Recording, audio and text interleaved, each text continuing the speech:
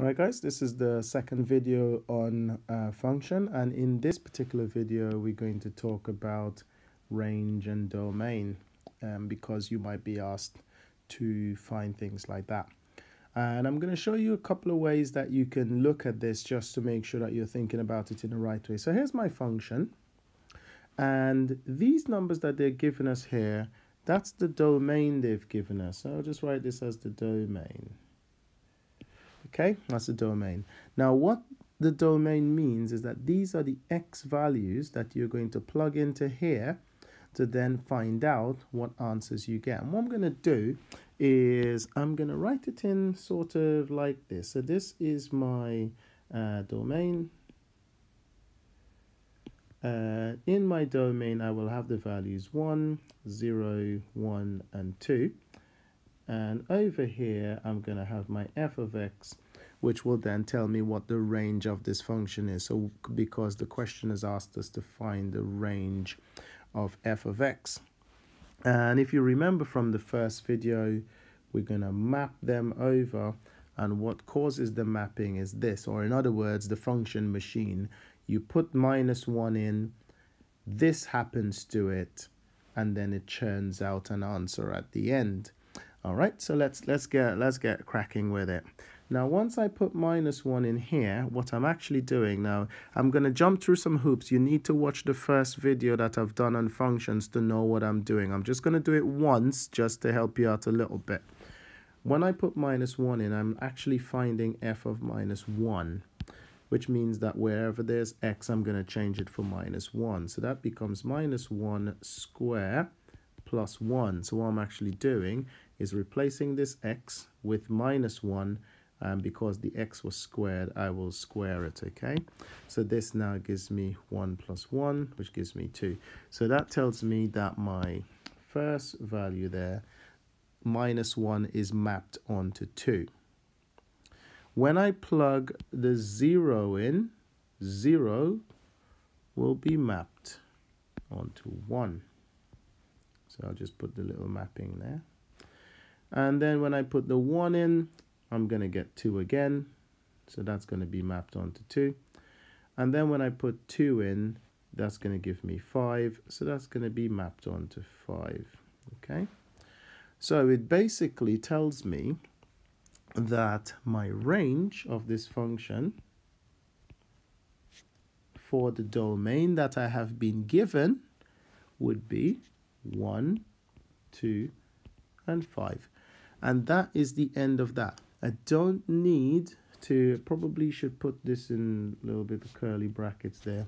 So that's my range there. 2 appears twice. I don't need to write it twice. I just need to write it just the one time.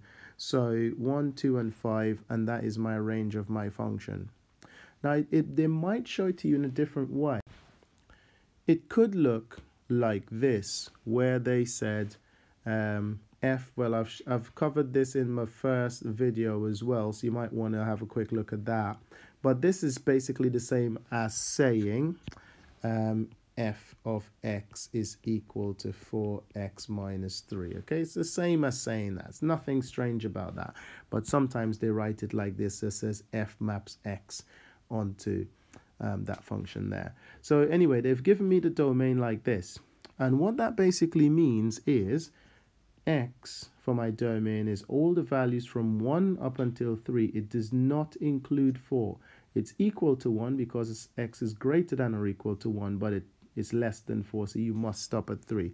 So the values that I'm going to have in my domain in this time is um, are, I should say, 1, 2, and 3. Those are the values I'm going to have.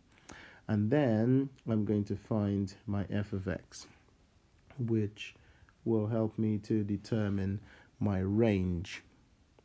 Now, to get my range here, I can literally just plug the values in as I've done before.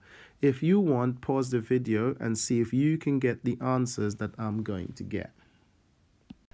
Okay, so did you get those answers there? So 1 maps onto 1, 2 maps onto 5, and 3 maps onto 9.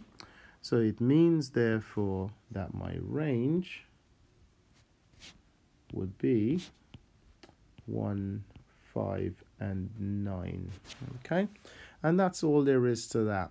Now, um, yeah, so we just list the elements of the range and that's basically all they wanted us to do. Now, this is the extreme side of um, domain and well this is just the domain we'll focus on for these questions. Sometimes your functions look like what you've got here and they might say find out what values or what your what can your domain be or they might say what values do you have to exclude from your domain? I'm going to look at both of them here the first thing to begin with if you have a fraction which is what you've got here the things that you can't have, you're not allowed to have 0 as your denominator. You're not allowed to have 0 as your, your denominator because any number, say 1 over 0, um, goes to infinity. Anything you divide by 0 becomes undefined. So you're not allowed to have 0 in your denominator. Now, when you look at this, what would make this become 0? Well, if this x was actually a 3, then 3 take away 3 becomes 0, and then this function becomes undefined. So, in this case, x cannot be equal to 3. It can be any other number you want, but it can't be 3. Okay, so that's one rule. The next thing that you need to focus on is what happens with this, um, this function with g here. You've got a square root. And if you can guess it, what value you're not allowed to have in a square root, a square root can't have negative numbers in it.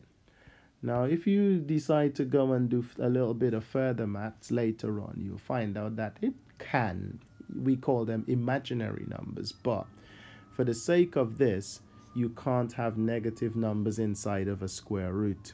Okay, so a square root can have zero because the square root of zero is zero. But you want to make sure that all of these values in here are positive.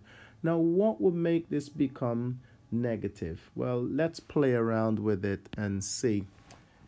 For it to become negative, 2x minus 1 has to be less than 0. Now, any number less than 0 is a negative number. Okay, so what we'll do, we'll just work it out as normal, like a normal inequality. If I bring that 1 over there, I'm going to have 2x is less than positive 1. And now I just divide by 2 and I get my answer that x, um, x cannot be less than a half. Okay, if x turns out to be less than a half, then we have a problem. Anything below a half is going to cause a problem. Okay, so because you're going to end up getting negative numbers in there. It can be a half if you want it to be, because if it turns out to be a half, then this will work out to be 0 and the square root of 0 does exist it's 0 okay? But it can't be less than a half. Any number below that will cause it to be negative. All right. So those are a couple of rules that you need to pay attention to what you can include. So what i'd like you to do then is look at a few examples to see if you can try them on your own. Okay. So here we've got four examples um, for you to have a look at. And let's see how you do. Pause the video have a go, take as much time as you like, and then once you finish, um, pop back to then see my solutions. All right, let's take a look first of all at this one here. Now, because it's a fraction, the bottom cannot be equal to zero. Once it gets to zero, we're going to have a problem. It goes to infinity. So, what values of x can it not take so that it turns to 0? So if I've got 2x plus 1 and I put it equal to 0, it will tell me what value x has to take before it turns to 0. So I'll get 2x is equal to minus 1. All we're doing is just a little bit of arithmetic. Just move the 1 over, it becomes minus. Now I need to divide by 2. Um, and x is going to be minus a half. So basically, x cannot be equal to minus a half because if it's equal to minus a half, what will happen is you'll get 0 in the denominator and this goes to infinity, but x can take whatever value. So the domain for this function um, is any value of x except minus a half. Here we have another one. So let's find out what x value it cannot have before it goes to zero. Same sort of thing. Just focus your attention on the denominator. And we get 2x plus 4 is equal to 0 and 2x is equal to minus 4 x is equal to minus 4 over 2 which is minus 2 so x cannot be equal to minus 2 because if it turns out to be minus 2 what will happen is you will end up with a minus 2 at, you'll end up with 0 at the bottom here which will make this function undefined. So the domain of this function is any value of x except minus 2 Okay, down here now we've got square roots. And remember inside a square root you can't have a negative number. So negative number is any number less than 0. So we need to find out what values of x could we not have to um, in order that we get a negative number. So we work everything as normal again. What I'm going to do is I am going to bring that 3 over. So this becomes minus 4x is less than minus 3. When the 3 goes over, it becomes minus. And now to get rid of this minus 4, I have to divide by minus 4.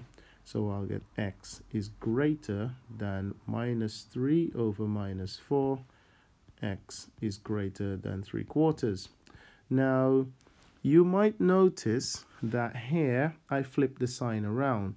If you ever multiply or divide by a negative number, the inequality sign gets flipped around. Now, now that I've said that, you might be wondering, well, how did that happen? Um, for this one, before I, I'm not going to go into much detail, just check out my video on inequalities and you're going to see how that really happens. But yeah, x can't be any number that's bigger than 3 quarters because any number that is bigger than 3 quarters will turn this whole thing into a negative number and you can't square root to negative number. So the domain for this function is that x can take any number except numbers bigger than 3 quarters. So I just put a line through that to say it can't be any number bigger than 3 quarters. All right, and the last one for us to stop then is again 7 plus x. Um, let's undo that. 7 plus x over 3. It can't be less than 0, otherwise it goes negative. Let's see what value of x we'll need to exclude from this one. So same sort of routine, move the 7 over. So x over 3 is less than 7. And last of all, to get rid of this 3, we multiply throughout by 3. So x is less than 7 times 3. So x is less than 21.